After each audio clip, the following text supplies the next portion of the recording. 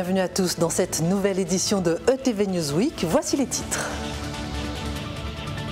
Deuxième salon de la sécurité et de la sécurité routière, c'était ce week-end au Gosier.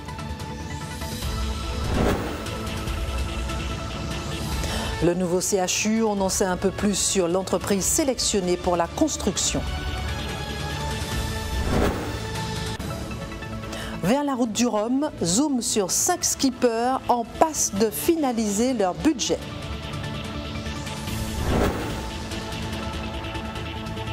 Épiculture, un hommage à Rivel pour les scolaires 100 ans après sa naissance. Deux jours pour la sécurité, la deuxième édition du Salon de la sécurité et de la sécurité routière a eu lieu ce week-end au Gosier. L'occasion de mieux se préparer aux dangers du quotidien, mieux se défendre et même d'améliorer son éducation à la route. Rien de mieux que la pratique pour s'instruire. Les mises en situation ont permis de sensibiliser la jeune population aux risques de la route. Le salon de la sécurité civile et sécurité routière se tenait sur deux jours au Palais des Sports du Gosier. Nous avons, euh, comme euh, on peut le voir tout de suite, eh de, la sensibilisation avec les enfants qui ne sont pas euh, forcément visibles par rapport à un véhicule lourd eh bien, ce sont autant de choses qui sont intéressantes à prendre en, considération. Euh, je pense aussi à tous les ateliers qui sont montés au niveau des motos. Donc venez essayer la moto, venez essayer le motocross, venez euh, euh, visiter tous les ateliers que nous déployons. Vous avez tout intérêt effectivement à venir prendre de l'information. avec le nombre d'accidents qu'on a sur les routes et le nombre de personnes, on va dire, qui ne sont pas formées convenablement, ben, ça donne des résultats catastrophiques à la fin de l'année sur le nombre de, morts sur les routes. Donc aujourd'hui, on est vraiment venu faire un travail euh, d'approche, surtout avec euh, les élèves, les enfants, puisque c'est là où, se trouve à peu près l'essence même de la chose, et qu'on puisse euh, démocratiser et montrer aux gens que tout le monde est capable de faire de la moto en sécurité, avec des bons moniteurs, et qu'on puisse éviter un maximum, on va dire, ce genre d'incident. Un spectacle impressionnant pour les plus jeunes, mais qui demande également l'attention des automobilistes confirmés. Donc on va mettre en situation par exemple là par rapport à la vitesse, on peut mettre en situation par rapport à un distracteur, comme euh, un téléphone par exemple, comme quelqu'un qui vous parle, qui vous demande d'aller plus vite parce que le film va démarrer et donc on va être en retard. Donc comprendre justement euh, les différentes situations auxquelles on peut être confronté et pourquoi justement il y a des, des règlements, des interdictions pour euh, tel ou tel paramètre effectivement, il y a l'état des routes, il y a l'état des véhicules, mais il y a surtout un problème de comportement.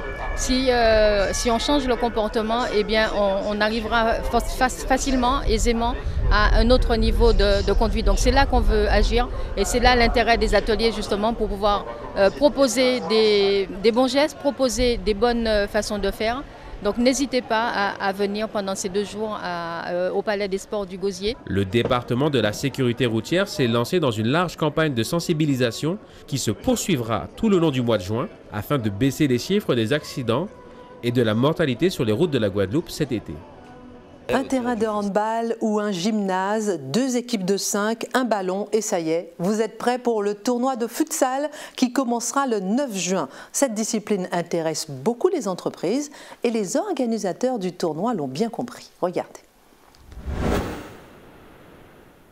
L'USR avance désormais vers la cour des grands. Une conférence de presse était organisée dans les locaux de l'entreprise de l'un de ses partenaires afin de présenter le prochain tournoi de futsal qui se déroulera le 9 juin prochain. Pour le président du club, l'objectif est clair. D'une part, faire avancer le club vers un fonctionnement plus professionnel et d'autre part, donner la possibilité aux entreprises partenaires du club de se fédérer. Depuis déjà 2012, nous cherchons toujours des occasions pour euh, rencontrer nos partenaires, un moment un peu festif, convivial. Cette fois-ci, nous avons considéré qu'il fallait qu'on se retrouve autour du ballon, tous ensemble. Et donc nous avons proposé à nos partenaires d'organiser pour eux euh, un tournoi pour que leurs salariés euh, constituent des équipes, pour que ces équipes d'entreprise, sur un espace réduit, euh, soient jouées au foot pour fédérer les équipes. Une structure située justement dans la zone industrielle de Jarry est prête à accueillir l'événement. Alors nous, on nous a sollicité justement pour l'organisation parce qu'il fallait un endroit pour fédérer autour du futsal. Donc euh, il apparaît que le Guada Football Club est très bien placé. Alors normalement, il y aura une vingtaine d'équipes constituées de 10 joueurs. Donc ce sera un tournoi sur toute la journée euh, avec des matchs de 15 minutes et 20 minutes pour la finale. On est sur un terrain réduit, donc les terrains en l'occurrence font 15-25. Donc automatiquement, les distances sont plus courtes, mais c'est beaucoup plus intense parce qu'on joue avec les balustrades. Donc le ballon rebondit et euh, on a tendance à courir après le ballon au lieu de le faire courir quand on n'a pas l'habitude. Mais c'est original et très sympa. Et c'est surtout ouvert à tous. Le directeur de l'entreprise partenaire du club trouve beaucoup d'avantages dans la participation de son entreprise à cet événement. C'est quelque chose qu'on a expérimenté il y a maintenant un peu plus d'un an. Alors au travers de différents sports, hein, il n'y a pas que le football, il y a aussi la course à pied, et, puis il y en a d'autres encore, le cyclisme également. Et franchement, euh, euh, voilà, avec un petit peu de recul, il faudra attendre encore un peu plus, mais les premiers résultats sont intéressants. Il y a une vraie émulation, ça permet aux uns et aux autres de se rencontrer en dehors de l'entreprise. On n'a pas toujours le temps de se rencontrer dans l'entreprise. Euh, ça fédère autour d'un projet commun, et puis dans le travail au quotidien, il y a un vrai plaisir qu'on peut sentir qui est palpable dans l'entreprise. Donc du coup, il y a une bonne humeur et une dynamique. Donc franchement, on est, on est satisfait, on va continuer. Rendez-vous donc le 9 juin prochain pour ce tournoi de futsal des entreprises partenaires de l'USR. On attend maintenant le premier coup de pioche pour le nouveau CHU. Une entreprise italienne et une locale ont obtenu le marché. On en sait un peu plus sur cette entreprise italienne sélectionnée pour la construction. Il y avait une conférence de presse cette semaine.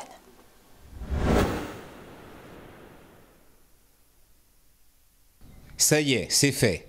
Le marché de la construction du nouveau CHU Pointe-à-Pitre-Abîme, situé à Perrin juste à quelques centaines de mètres du SDIS, vient d'être attribué. Parmi toutes les offres étudiées, celle qui a été retenue devait répondre à un cahier des charges très strict. Il a fallu être donc très vigilant du côté du CHU pour être certain de ne commettre aucune erreur, surtout sur un marché d'une telle ampleur. Alors cette entreprise a été choisie à partir d'un cahier des charges extrêmement détaillé qui a été publié à la fin du mois de septembre. Il y avait trois critères principaux. Le premier critère qui est un critère prix puisqu'on a une enveloppe fermée financée par l'État. Le deuxième critère qui est un critère valeur technique de l'offre et un dernier critère de 10% qui représente la performance sociale et environnementale de ce marché. Nous avons choisi, nous avons analysé ces offres pendant près de deux mois, euh, l'ensemble des offres qui ont été proposées, les références, ils ont une, expérience notamment sur la partie sismicité qui est extrêmement intéressant. Ils se sont alliés à un opérateur local. Effectivement, aujourd'hui, oui, nous sommes confiants par rapport aux garanties et à l'analyse que nous avons faite de ces entreprises. C'est un marché d'environ 266 millions d'euros euh, pour l'ensemble des lots, euh, à partir du terrassement vers des gros œuvres, les lots techniques, les corps d'état architecturaux, hormis quelques lots de finition qui fait l'objet d'un appel d'offres euh, à part. Les plannings contractuels est 51 mois, dont les 6 premiers mois, donc de juin en décembre, pour la préparation du chantier, l'étude d'exécution. Donc on va démarrer les travaux sur place au mois de janvier 2019. On vous avait parlé du concours projet Outre-mer. Ça y est, les 36 projets finalistes ont été sélectionnés. Il s'agit de participer à un concours d'innovation en Outre-mer. 19 lauréats seront désignés. Un vote est ouvert au public du 30 mai au 13 juin. Restons dans le domaine des concours. En voici un autre pour encourager la production audiovisuelle locale. Direction le Memorial Act, c'était mardi dernier. Jean-Marc Rabarijeune.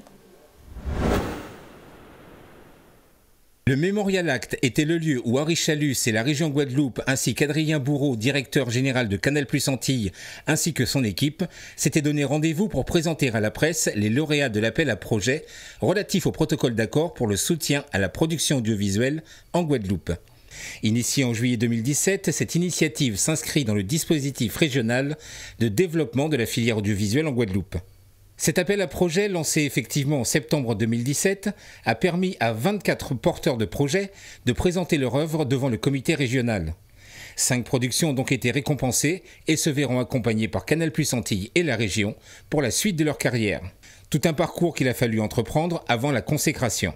Moi, je ne viens pas directement du milieu du cinéma et j'ai eu mes premières armes avec euh, l'association Varan Caraïbes, donc plus du cinéma documentaire direct. Et ça m'a donné justement l'occasion de, de, commencer à écrire un projet qui me tenait à cœur, puisque je, suis de, Marie-Galante et le film va, traiter essentiellement de ça, d'un voyage introspectif en fait à travers l'île et à travers la, poésie de, de Guy Tyrolien. J'ai fait un BTS audiovisuel euh, image donc, euh, à Paris, à Saint-Denis. Et à partir de là, j'ai fait beaucoup de clips euh, vidéo pour me faire la main. Et, et ensuite, j'ai commencé à écrire. J'ai commencé par écrire d'abord un long métrage qui m'a fait rencontrer des gens plein de gens qui étaient intéressés, des gens du, milieu, des gens qui sont bien impliqués dans le milieu, mais c'était trop, trop tôt, trop jeune en fait. Je me suis rendu compte, je me suis heurté à pas mal de barrières. Du coup, j'ai repris les choses depuis le départ et j'ai commencé à écrire des cours. J'ai fait des cours autoproduits que j'ai fait tout seul. Et puis euh, là, voilà, avec euh, Yannick Rosine qui a créé sa production, on a, décidé de travailler ensemble et on a, j'ai écrit Timona. Côté conseil régional, il s'agissait aussi de renouveler l'appel à projet pour l'année 2018 en insistant sur les modes opératoires pour un accompagnement efficace et adapté. Que ce soit de la fiction ou du documentaire, on est dans le cinéma.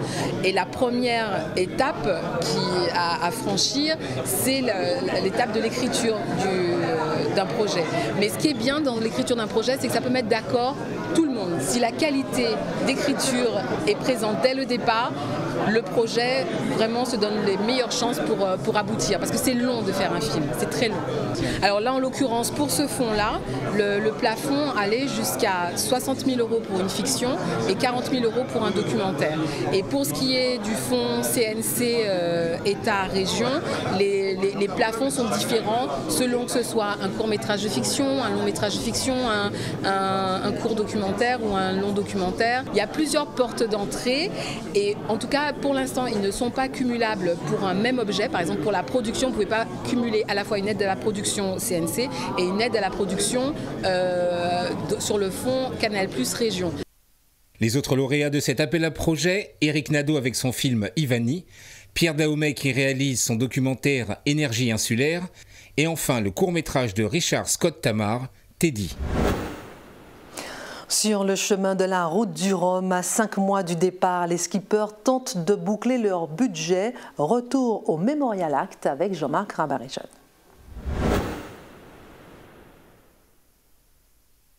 Le conseil régional organisait au Memorial Act la présentation des cinq skippers guadeloupéens sur les huit engagés qu'elle accompagnera durant cette édition de la Route du Rhum 2018.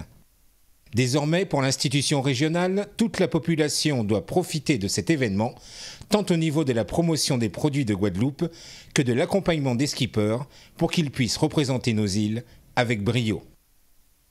On ne peut pas avoir une route du Rhum qui a cette importance, on ne peut pas avoir des Guadeloupéens qui participent. Et nous savons qu'aujourd'hui, le nerf de la guerre, c'est de l'argent. Donc aujourd'hui, c'est cinq. Nous aurions bien aimé avoir une bonne dizaine, une bonne quinzaine pour avoir une belle ferveur en Guadeloupe, pour que la population puisse soutenir tous ces skippers. J'espère qu'un jour, on y arrivera.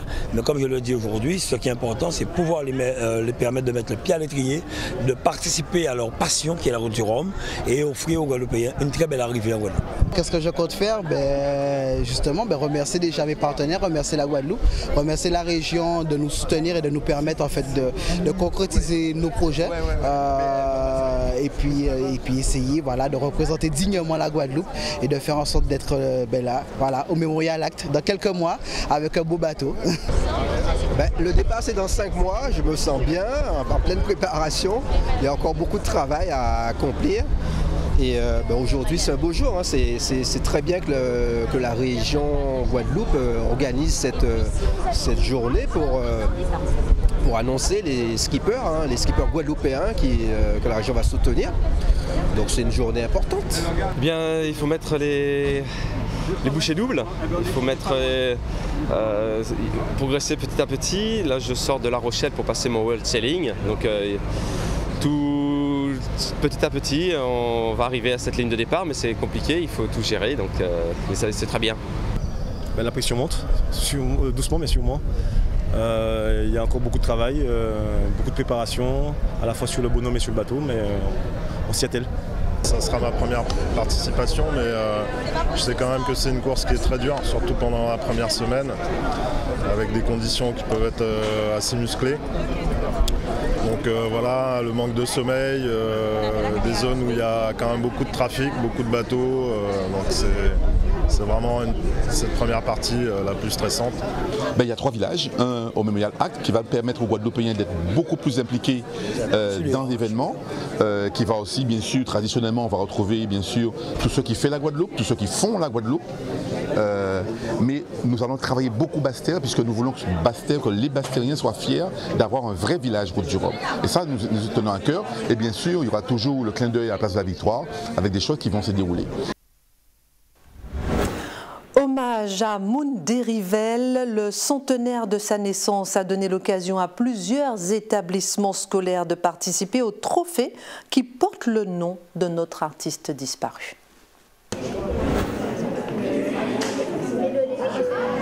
Les mots ne suffisent pas toujours lorsque l'on doit évoquer nos grands artistes disparus aux plus jeunes. Winnie Kaona, auteur-compositeur et interprète d'une part et fille spirituelle de Rivel d'autre part, décidait de mettre en place les trophées Rivel. Juste pour que l'on n'oublie pas celle qui fut l'une des chanteuses les plus connues de notre histoire. C'est pour, euh, rendre hommage à Rivel et on va faire un concours et on est venu pour gagner. Tu connais Moon Rivel Oui. Qui c'est qui t'en a parlé? Le professeur. Et qu'est-ce qu'il vous, a raconté au sujet de Moon Rivel euh, Il nous a dit que c'était une très grande chanteuse. Qu'est-ce que vous avez décidé de faire aujourd'hui? Euh, Une chorégraphie avec une chanson. Comment s'appelle la chanson? Mais c'est Calypso. On est venu participer aux premières éditions des trophées de Monde Rivel et euh, nous allons présenter euh, la greffe que notre professeur de musique, M. Martin, nous avait proposé. On l'a interprété aussi le 7 mars 2018 euh, à la Journée de la Femme et il y avait aussi Winnie Kaona. Et la greffe, c'est un chant composé par Léona Gabriel en 1931 que Munder Rivel reprendra plus tard. Alors au départ, c'est en fait, un travail collectif. C'est pas moi tout seul. C'est d'abord, ça a été impulsé par une équipe pédagogique, éducative, et l'objectif c'était d'abord la, journée de la femme. Et euh, donc, euh, comme on avait fait connaissance avec Winnie Kaona, ben, on, a, choisi un chant de Moon de Rivel. Pour le public présent et pour le jury, l'émotion était au rendez-vous, dans la qualité de certaines interprétations replongeait tous ces spectateurs quelques 60 ans en arrière.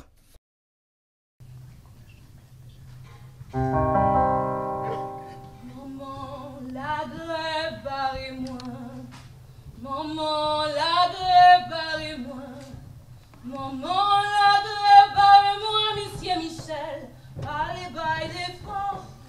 Maman la de moi, maman la de moi, maman la de moi, monsieur Michel, allez bail des francs. Maman la de moi, maman la de moi,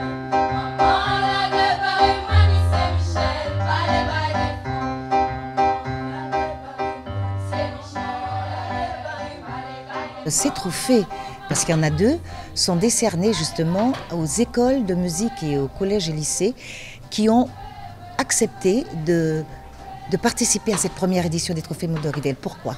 Effectivement, dans le cadre du centenaire de sa naissance, il y a eu tout un calendrier d'action prévu depuis janvier jusqu'à aujourd'hui et ça sera jusqu'à la fin de l'année. Et il était important pour cette femme qui nous a légué un héritage musical si important euh, de plus de 300 chansons, qui a composé l'hymne pour l'indépendance de la Haute-Volta, cette femme extraordinaire qui malheureusement trop peu méconnue ou sinon pas connue du tout dans son pays. Et il était important, en ma qualité de fille spirituelle aujourd'hui, dans le cadre de ce centenaire, de comment dire, euh, de faire en sorte que la nouvelle génération s'approprie, s'approprie l'héritage de Mundo. J'entendais le chant d'une guitare, des enfants jouaient dans le jardin. Point à priait de tous ses pains, nous étions là tous deux en nous tenant la main. Ce soir-là, c'était de nous revoir. Tu me dis, je passerai demain vers des rives qui me donnent de l'espoir, mais lui, mon pauvre cœur avait bien du chagrin. Car ici, il y a tes amis, ta maison, et puis c'est ton pays. Des heureux, nous étions la main. Et pour terminer, tout ce week-end se tient la manifestation à ne pas rater pour commémorer l'esclavage. Héritage, mémoire vivante commémore la date de l'abolition de l'esclavage en Guadeloupe, le 27 mai 1848, avec toutes sortes d'ateliers, conférences pour les grands comme pour les petits. Voilà, c'est la fin de cette édition. Merci de nous avoir suivis.